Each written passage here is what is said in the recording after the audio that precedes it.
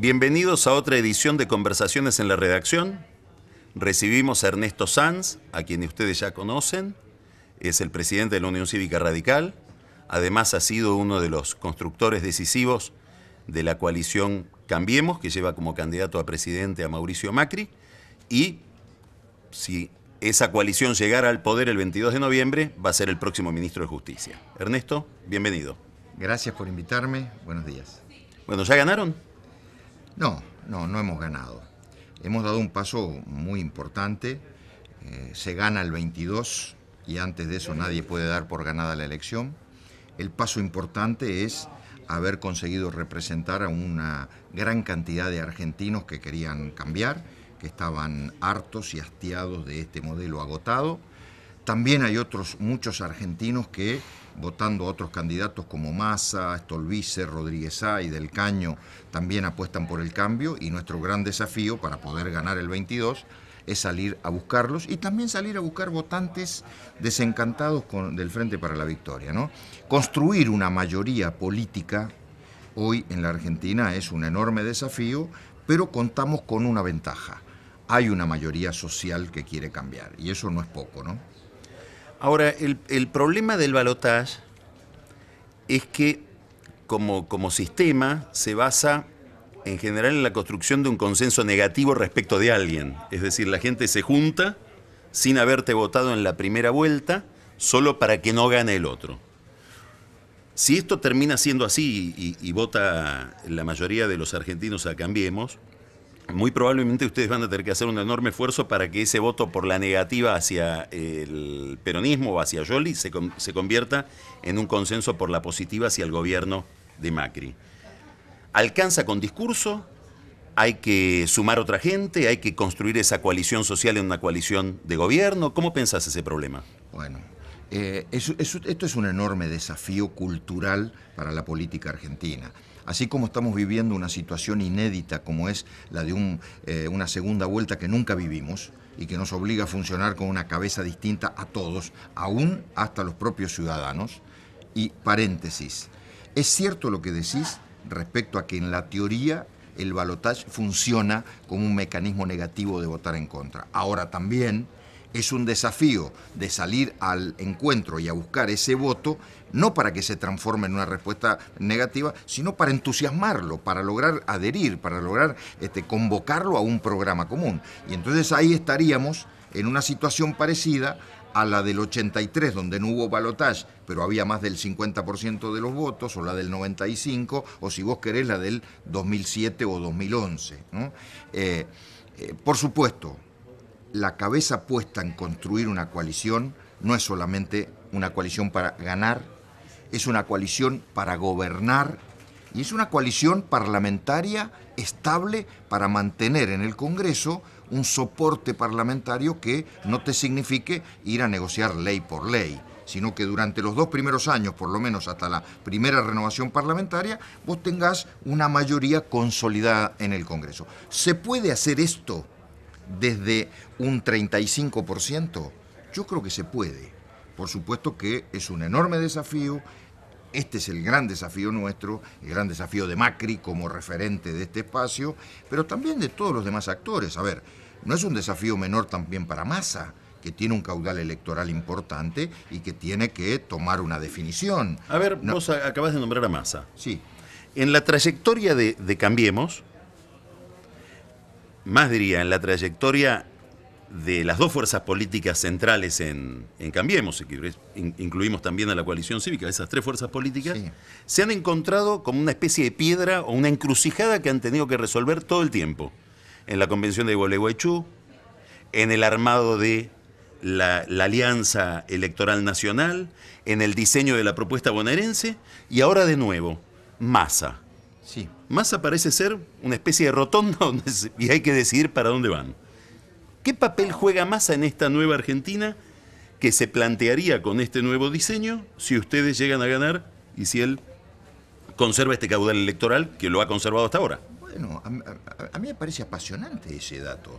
Parece apasionante porque abre las puertas a un escenario también inédito, que es el escenario de un gobierno de origen no peronista, por supuesto con eh, peronismo adentro, porque de hecho Cambiemos lo tiene, y por el otro lado la reconstrucción del peronismo como fuerza política, pero con liderazgos distintos, por ejemplo el de Massa. Yo supongo que en la cabeza de Massa debe estar el de reconstruir un liderazgo con el peronismo, me parece bárbaro.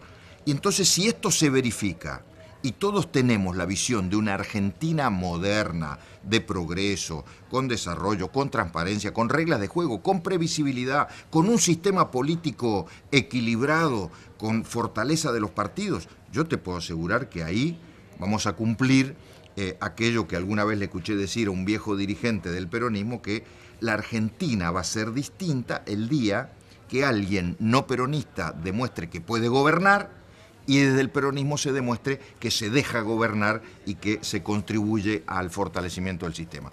Yo creo que estos son los años que vienen en la Argentina, ¿eh? estoy convencido. Esto no es un cambio de figuritas, esto no es un cambio de gobernantes, esto es un cambio cultural más profundo. Por supuesto, está todo por hacerse pero mi perspectiva es que si esto se verifica en los hechos, nosotros vamos a vivir de acá para adelante una Argentina mucho mejor, pero mucho, mucho mejor, una Argentina que nos va a contener mucho más a todos. Vos hablabas de cambios culturales. En, la coalición Cambiemos conviven distintas culturas. Eh, y básicamente dos. Conviven la cultura de eh, un radicalismo muy centrado en la organización partidaria, que en el fondo es impersonal y que impone reglas y, no es el seguimiento de una persona, con un partido personal, técnicamente un partido personal como es eh, el PRO. Em, son dos concepciones de la política, son dos concepciones de cómo se arman los gobiernos. ¿Cómo, ves la evolución de esas dos culturas desde que empezaron a hablar hasta ahora? Bien, eh, y vos lo has hecho bien. Te diría que si le agregás una tercera cultura, tenés el mapa de lo que sería el sistema político en la Argentina hoy. La cultura monárquica, te suena el gobierno, la cultura eh, corporativa, si vos, ves, o sea, el, PRO construyó a partir de una cultura política más asimilada a lo corporativo, a lo empresario, bueno, porque su liderazgo viene de ahí, y la cultura tradicional, la cultura eh, republicana, horizontal, eh, de debate, de la organización política, que es la, es la nuestra. esas tres culturas han convivido en este tiempo yo creo que hay dos culturas que hay que eh, alejar, que es la corporativa y que es la monárquica, y todos tenemos que ir hacia una cultura organizacional de la política que no significa caer en viejos esquemas, al contrario, esto es moderno.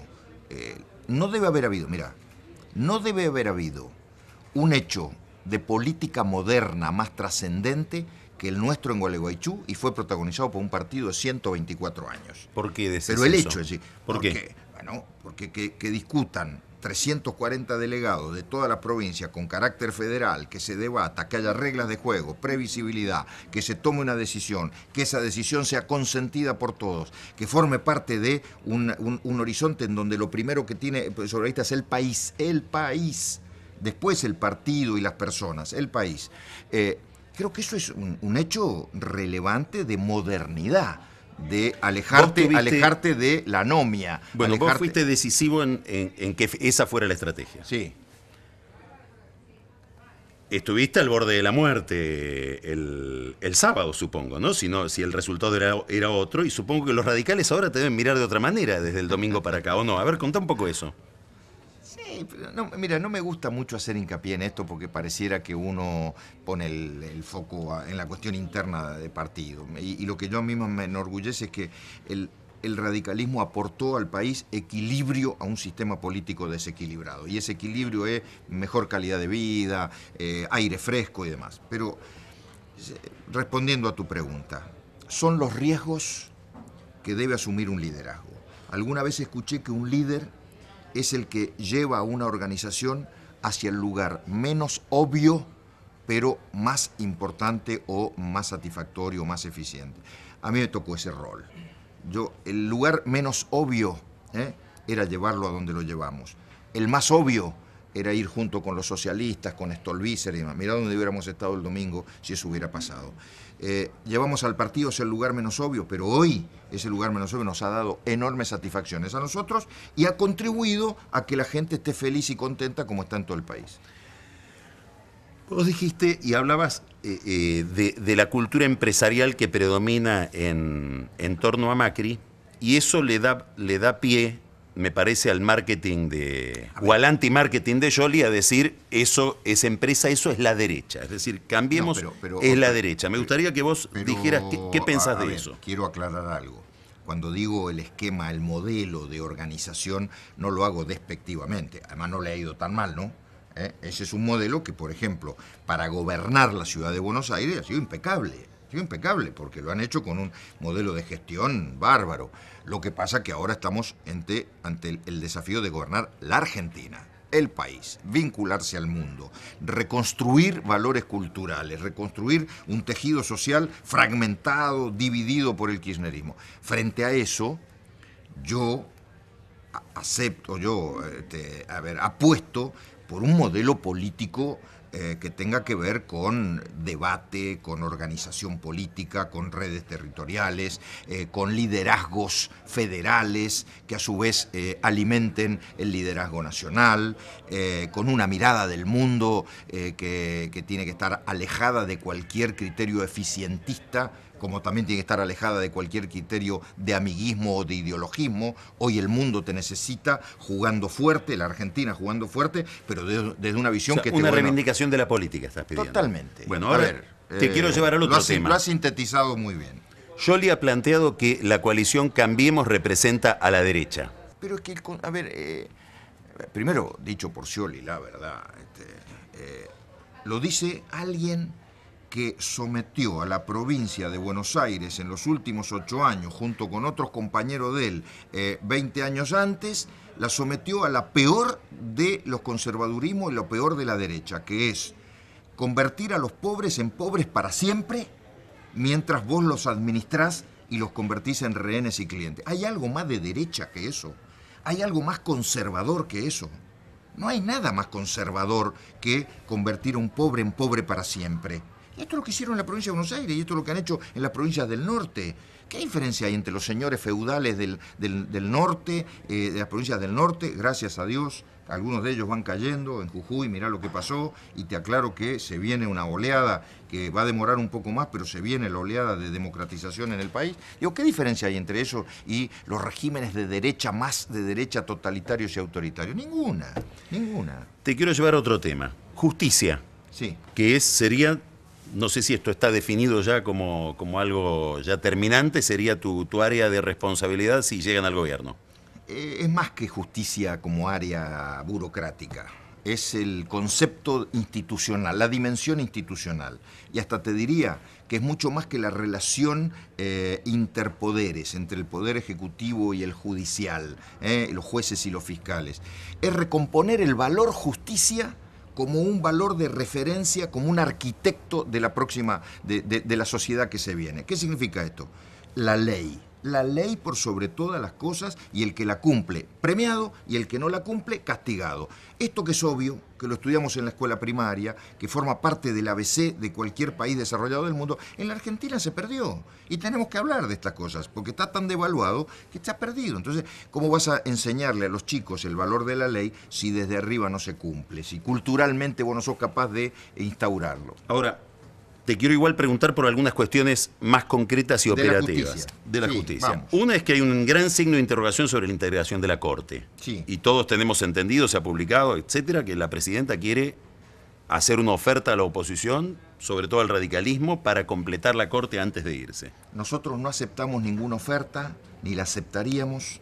Nosotros creemos que este gobierno perdió legitimidad política para nombrar las vacantes de la Corte la presidenta, lo digo, mira, mirando a la Cámara con todas las letras, la presidenta de la Nación no tiene legitimación política para nominar a los miembros de la Corte. Esto lo tiene que hacer el próximo presidente y estamos a 20 días, a 20 días de saber quién va a ser el próximo presidente. No hay ningún plazo, no hay ningún nada que corra, este, que esté corriendo, por lo tanto, hay que esperar a la legitimación política del nuevo presidente. El segundo problema que está abierto es que alguien que ha sido muy cuestionado por tener actitudes facciosas, etcétera, como Gilles Carbó, tiene estabilidad al frente de la Procuración de la Nación. Hmm. ¿Ustedes cómo piensan ese problema? Nosotros esperamos que la doctora Gil Carbó, en caso de ganar nosotros las elecciones, al día siguiente presente su renuncia. Una cuestión de dignidad política y de autoridad moral, que ojalá este, la, la tenga en ese momento. ¿Por qué?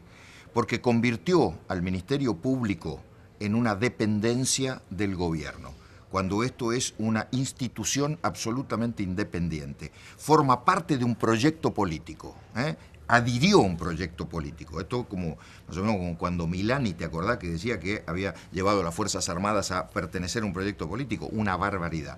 Entonces, si el proyecto político pierde, como pensamos que va a perder, y viene otra gente, lo, lógico es que se vaya. O sea que esto de la, eh, eh, de la inmunidad que tiene y demás debería desde la política ser resuelto de esta manera. Y si no lo hace, bueno, pues veremos cuáles son los mecanismos para poder eh, avanzar sobre un ministerio al cual hay que devolverle independencia, hay que devolverle autonomía.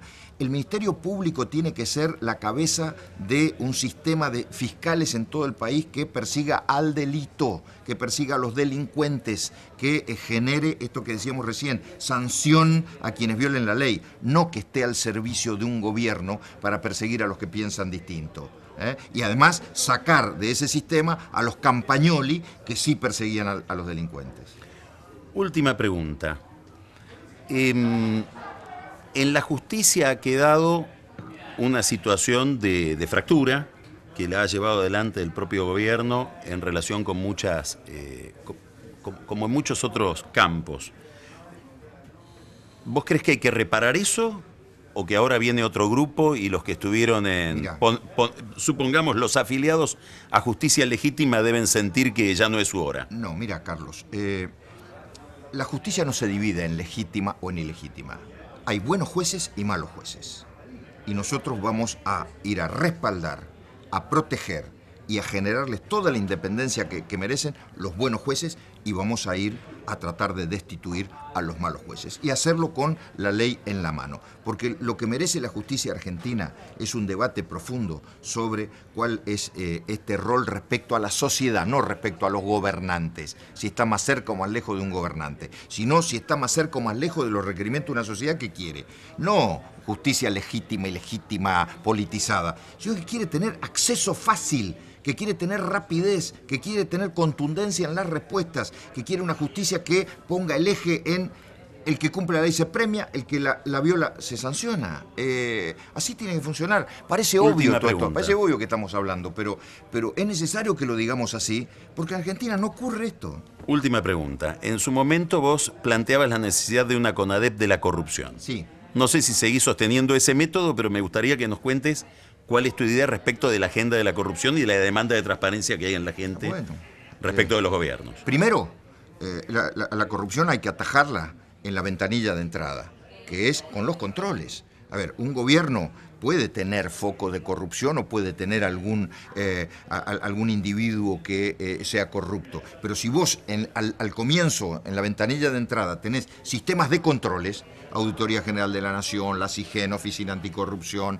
eh, este, la Fiscalía Nacional de Investigación Administrativa, el control del Congreso, la, propia Ministerio Público. Si vos tenés todo eso como control, es muy difícil que eh, el gobierno sea un gobierno corrupto. Y si detectás el foco de corrupción, los anticuerpos están ahí y lo aislás.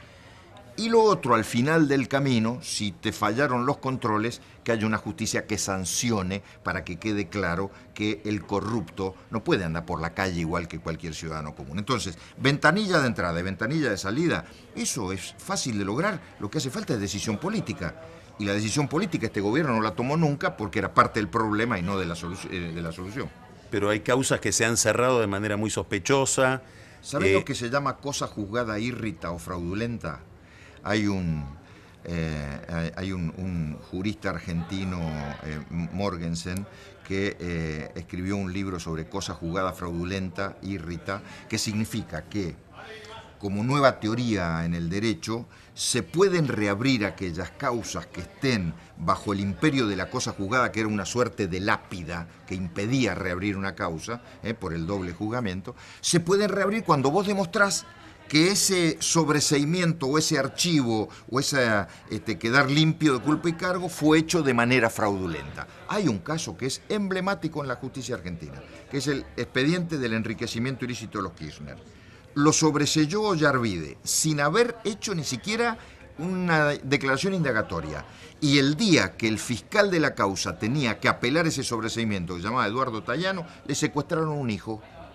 ¿Eso sabe cómo se llama? ¿Eh? violación de la voluntad, ¿eh? un vicio de la voluntad. Tayano no, ¿qué iba a hacer ese día? ¿Apelar o preocuparse por rescatar a su hijo? Y esa causa quedó archivada con esa irregularidad. Ernesto Sanz, muchísimas gracias. Gracias a ustedes. Volvemos en cualquier momento con otra conversación.